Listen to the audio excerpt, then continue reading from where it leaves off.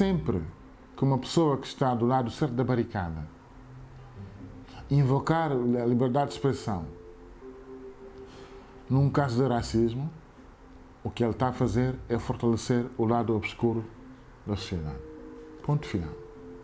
Ponto final. E se, se não perceberem isto, se não perceberem que a liberdade de expressão é um biombo, ou que o politicamente correto, nesse momento, é um biombo, é, para que os racistas, os macistas, os homófobos possam dar largas às suas fobias, então não perceberam nada.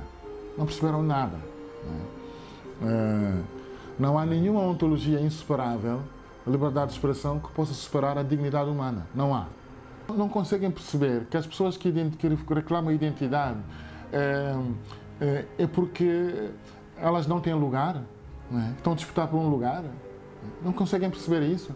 Que as identidades são dinâmicas e são instrumentais.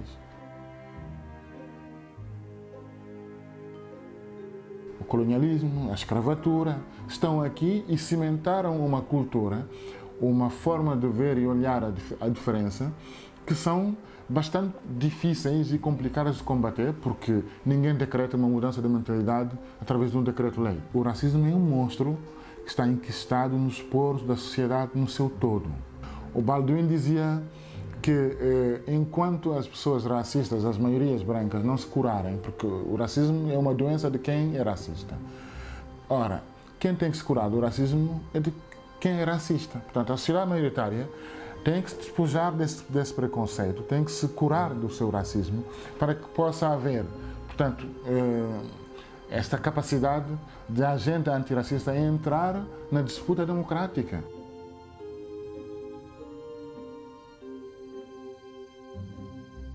Houve um abrigo de um acordo bilateral entre Senegal e Portugal, tinha uma bolsa de estudo, vivia no centro da cidade, numa residência universitária catita, eh, no Casar Ribeiro. Eh, portanto, eu não, não, não estava confrontado diretamente com as agruras da, da, da, da operação racial. Quando acaba a bolsa, eu quis continuar a estudar, tinha então que trabalhar, aí sim, dou de frente, dou de cara com, com a realidade, comecei a trabalhar nas obras e aí, enfim, começo realmente a confrontar-me com, com a dureza da, da operação racial. Como se comprovou com a, o último artigo do, da Maria Bonifácio, é que há, uma, há um consenso quase tácito na classe política de que o racismo não deve ser criminalizado tem que ficar na esfera da opinião. Ora, nenhuma violência uh, que possa ofender a minha dignidade pode caber uh, numa mera opinião. Não é. Não é. Das duas, uma. Ou entendem que a luta antirracista não merece este valor simbólico que atribuem a outras causas que merecem ser conduzidas uh, a tribunal, ou então estão cinicamente na luta. É? Tem que se decidir. É? Eu não tenho nenhuma ilusão sobre o alcance de uma caixa contra a Maria Bonifácio. Não tenho nenhuma ilusão sobre isso. O que eu não posso fazer é não confrontar o próprio sistema com a sua iniquidade. E diga, que diabo, mas o que, o que é que vai mal aqui? Por que, é que a gente tem um arsenal jurídico que não serve para o propósito para o qual foi criado? É? É o arsenal que não funciona ou são os seus intérpretes? É impossível as pessoas falarem eh, de liberdade, de democracia, numa sociedade racista. Isto é um logro. Uhum. Eu não sou livre enquanto as pessoas me discriminam por aquilo que eu sou. E a pessoa que está ao meu lado não se deve sentir livre.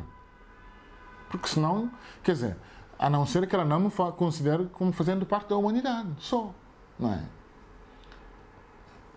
Que o a filosofia Ubuntu diz isso mesmo, não é? O que nos devemos uns aos outros é a nossa humanidade. Quanto ao resto, é? cada um de nós pode optar por aquilo que quer fazer, que acreditar, que quer pensar, eh, para onde se quer filiar. Mas é uma coisa que nos devemos uns aos outros. É a nossa humanidade. E ela está acima de qualquer outro direito.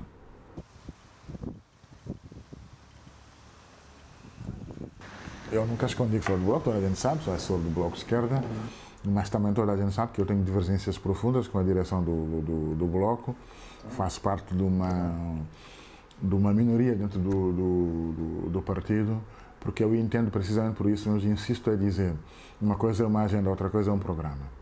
O que me parece é que o Bloco, eh, como todos os outros partidos do arco parlamentar, eh, não tem um programa antirracista. Tem agenda antirracista, mas falta-lhes ter um programa antirracista. E o Bloco aparece com uma agenda muito forte. No início fez muitas propostas, teve na rua e teve muito envolvido diretamente junto das pessoas mesmo. Não é só no, na sua redoma institucional ou no seu espaço de conforto ideológico, mas até correndo o risco de se expor um bocado, expor as suas fragilidades e, e aprendeu, na minha opinião, muito e ganhou com isso. E a própria sociedade ganhou com isso, o movimento ganhou com isso.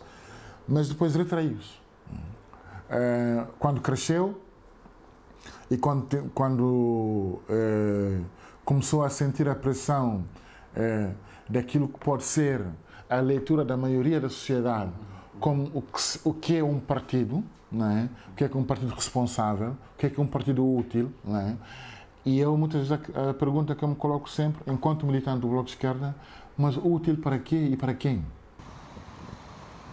Os partidos políticos preferem um baile de retórica sobre a questão racial do que apostarem num programa mesmo consistente, traduzível em proposta concreta, uh, e há várias. Uh, nesta legislatura, por exemplo, o Bloco apresentou uma proposta para a criminalização do racismo, logo no início da, da legislatura. A proposta foi derrotada. Uh, não voltou a apresentá-la. E nenhum outro partido pegou naquela proposta. Se os partidos não se entendem sequer sobre a natureza e a importância de nós criminalizarmos o racismo, porque não percebem que, ao fazê-lo, nós tínhamos dois ganhos essenciais. E teria ganho a democracia. O primeiro ganho era nós teríamos conseguido uma capacidade dissuasiva maior para práticas de racismo e teríamos começado a combater a impunidade do racismo institucional, por exemplo, violência policial. E teríamos criado outra coisa muito mais importante, que a confiança das pessoas racializadas na sociedade como um todo podiam perceber e dizer que, sim senhora, quando eu for violentado pela cor da minha pele, por aquilo que eu sou, a sociedade está aqui, tem meios para me defender. Eu posso aspirar à justiça porque a sociedade está mobilizada, organizada para que eu não sofra apenas porque aquilo que eu sou, por ser negro, cigano ou outra coisa qualquer. E a questão racial tem que ter centralidade política, porque, porque ela veio para ficar. Porque as pessoas que nasceram aqui e que não são brancas e que têm tanta legitimidade como qualquer outra pessoa, vão lutar pelo seu direito e pelo seu lugar na sociedade portuguesa. Portanto, é melhor para a saúde democrática e até para o próprio conforto do sistema político começar a perceber que vão ter forçados ou à vontade acomodar uma agenda e um programa antirracista. Eh, quando o livro escolheu a Joacine, eu fiz um post sobre a escolha de Joacim como candidato, como primeira candidata a Lisboa. E no meu post, a única coisa que eu, que eu fiz foi fazer um mapeamento cronológico sucinto da evolução da possibilidade de representatividade de sujeitos racializados na disputa política. Falando da primeira mulher negra a ser cabeça de lista em eleições europeias foi Helena Lopes da Silva pelo PSE, década 90, falando do General Di como candidato pela Política 21 em eleições europeias, falando de Fernando e de Manuel Correia pelo PCP, Fernando Cá pelo PS nas eleições legislativas da década 90, e dizer, 20 anos depois, temos um partido que disputa eleições com a hipótese de eleger a colocar uma mulher negra em, lugar, em, em primeiro lugar. Este meu posto foi interpretado como um ataque ao Bloco. Dentro do Bloco e fora do Bloco. É importante que haja uma agenda antes, quer dizer que o debate está no espaço público, mas ele tem que traduzir a agenda antirracista num programa antirracista, ou seja, programas concretos, propostas concretas.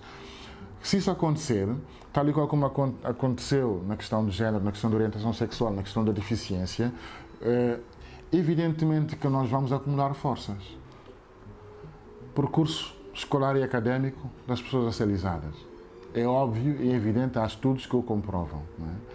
há mais taxas de retenção, há menos capacidade ou possibilidade de fazer um percurso normal uh, escolar para depois chegar, seguir fazer um percurso académico.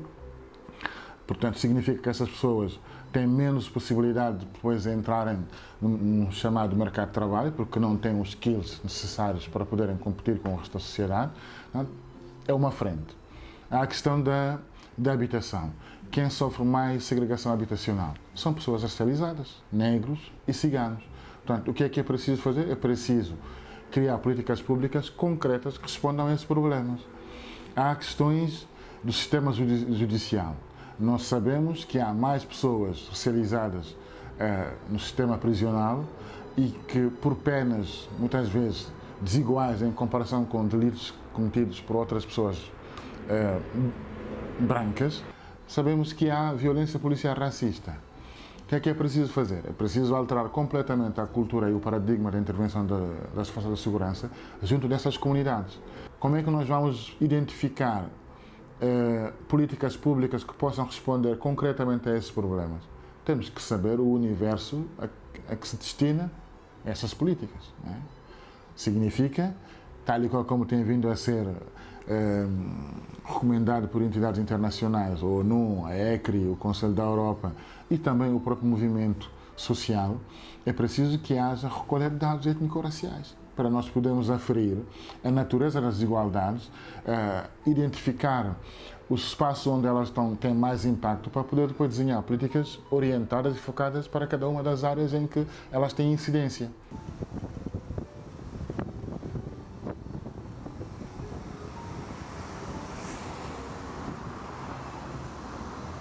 Sim, acho que ela não avançou porque o país não se quer olhar para o espelho.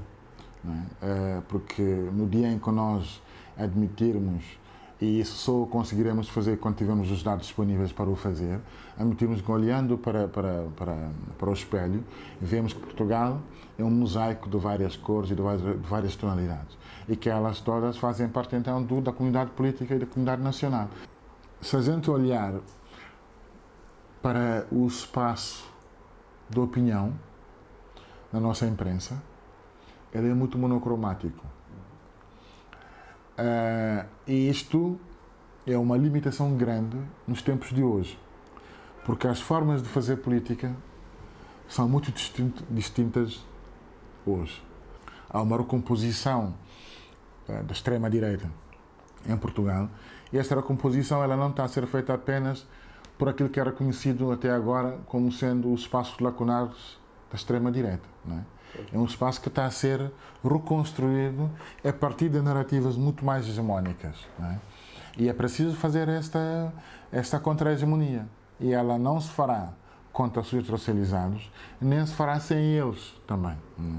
Porque eles podem ser os primeiros alvos desta ofensiva hegemónica de um fascismo novo, que de, de novo nada tem, mas quem vai pagar a fatura final seremos todos, enquanto sociedade.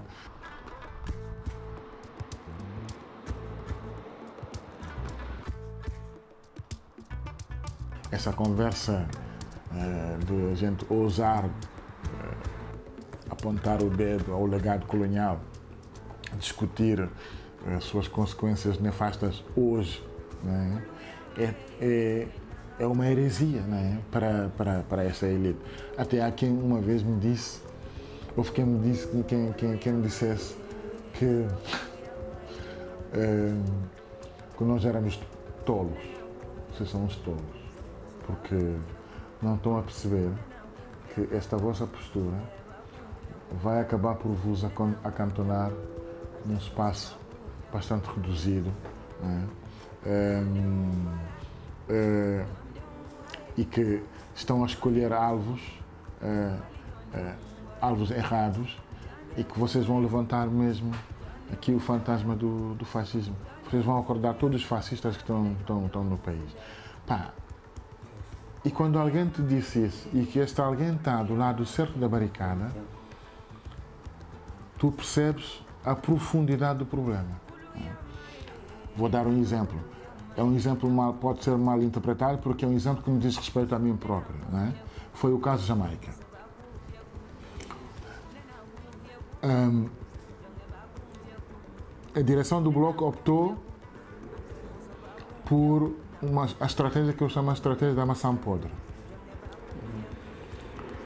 Dizendo que eu discordava da minha, da minha expressão, porque eh, nós não podemos generalizar que nem toda a polícia é racista. Um, se taticamente eu percebo esta saída, parece-me que estrategicamente e eticamente uma posição uh, indefensável. Porque ela denota uma, uma certa cobardia política. Porque se querem dizer que nem todos os polícias são racistas, não, estão, não é nem, isso é uma lapaliçada. Porque quando eu digo Portugal é um país machista, uma sociedade machista, não estou a dizer que todos os homens portugueses são machistas. Estou a dizer que há uma cultura machista que persiste é? e que faz vítimas todos os dias. É? Temos 17 mulheres mortas até agora. Enquanto houver impunidade, enquanto houver uma cultura de abuso e uso da violência contra pessoas racializadas, perpetradas por agentes fardados, cuja responsabilidade é garantir a segurança de toda a gente, independentemente da sua cor da pele, o meu lado é do lado de quem é agredido. Ponto final. E, e parece-me que o Bloco, eh, nessa circunstância em, em, particular, não esteve à altura. Não, é? não esteve à altura. Eh, pensou, ora, o que, é o que é que importa aqui, eh, nesse momento? É dizer que nós não podemos hostilizar a corporação policial porque sabemos que há agentes que se sentem ofendidos com a existência de práticas racistas dentro do seu seio. Eu também sei. O SOS tem sócios que são agentes policiais.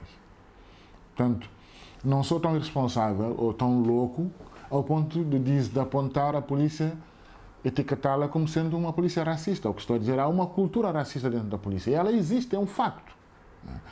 E se nós queremos combater esta cultura, nós temos que a enfrentar.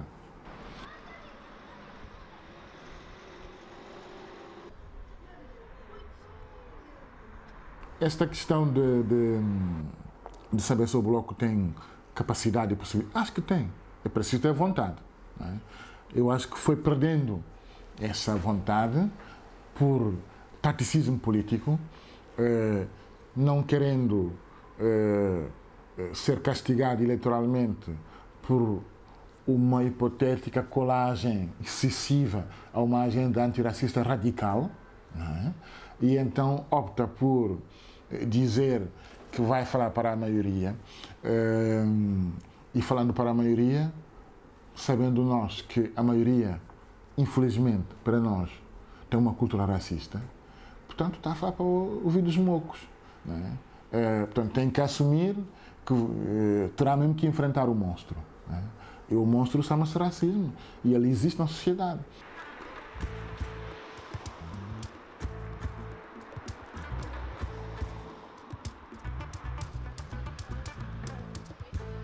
E quando eu digo branquitude, né, cai o Carmo e a Trindade.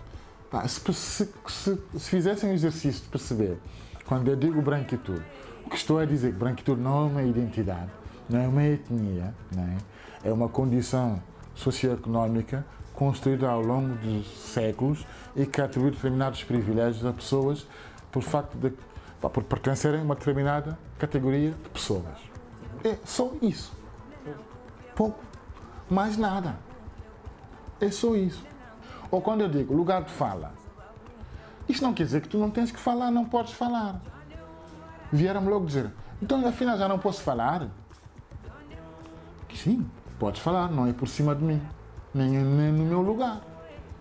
Podes falar ao, ao meu lado, podes falar comigo, não é por mim, nem em cima de mim. É? Isso é que não podes. Porque tu não vais fazer nenhuma luta uh, eh, LGBTQI sem pessoas LGBTQI. Não, faz, não vais fazer nenhuma luta uh, contra o machismo sem as mulheres. E então queres fazer a luta contra o racismo sem as pessoas racializadas? Eu não sou um objeto da tua vontade ou da tua projeção de sociedade. Eu sou um sujeito desta projeção de sociedade. E tens que me atribuir essa faculdade. Tens que não atribuir, reconhecer. Porque eu a tenho, não é, não, não és tu que tens que me atribuir, mas tens que me reconhecer. Eu não chamo nunca primavera este movimento, este momento, mas eu chamo-lhe um, uma nova etapa, porque é uma mesmo de facto uma nova etapa. Eu acho que há uma maior capacidade de penetração do, do, espaço público do ponto de vista de confrontação sobre o que se pretende, o que se quer como sociedade. Um, e há outro fator bastante importante que altera as condições que nós tínhamos tido até agora, que não há antiracismo por procuração. Já não há antiracismo por procuração. Portanto, os atores e as atrizes do, do combate antiracismo são os próprios sujeitos racializados. Isto é um dado fundamental e altera substancialmente as relações de forças e a capacidade e a capacidade que temos de forçar o outro lado a vir a terreiro e a debater. Há bem pouco tempo, eh, não só éramos ignorados, como éramos objeto de chacota. Com eh, a evolução das coisas, isto vai mudar muito.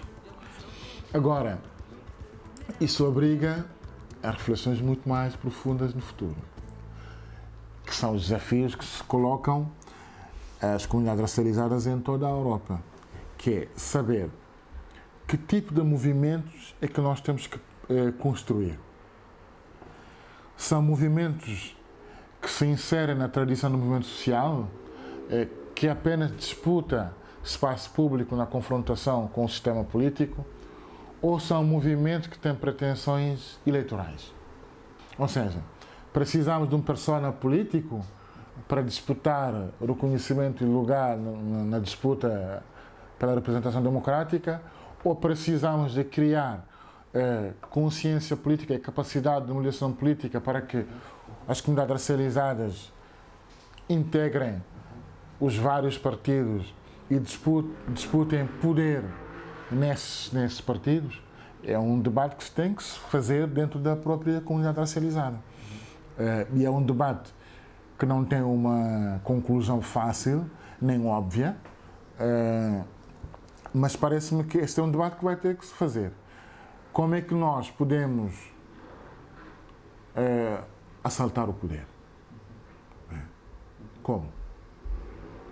É ocupar tentar disputar uh, o, o espaço partidário é construir uma alternativa a este espaço partidário. É uma questão em aberto. Uhum. Ok. Tá? Eu falo muito, tem como mandar parar.